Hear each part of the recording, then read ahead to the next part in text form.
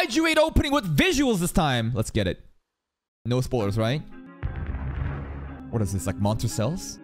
Monster cells like reproducing? What, what, what? Holy shit, the visuals are crazy. Okay. Okay.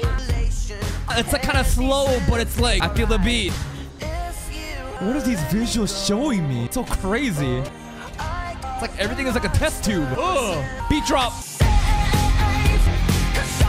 Yungblud. This guy's name is Yungblud.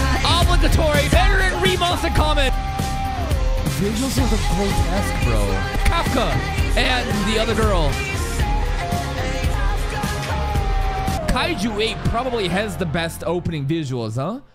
Like the the song itself was not overly hype, but I enjoyed the beat. But the visuals, bro, with all the different like monster cells and reproducing, and even like the human models, right? It didn't look like the regular anime, you know, models. So pretty cool opening. Pretty cool opening. Yeah, they were just flexing the 3D animation, huh?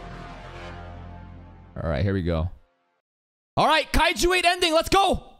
Nobody got you the way I do. This is English. Okay. Feels like some kind of pop song. OneRepublic? I don't really listen to too many, you know, pop songs, but this does sound familiar. Wait a minute! This is spoilers! Oh, we know he's gonna fucking make it into the defense court, but, you know.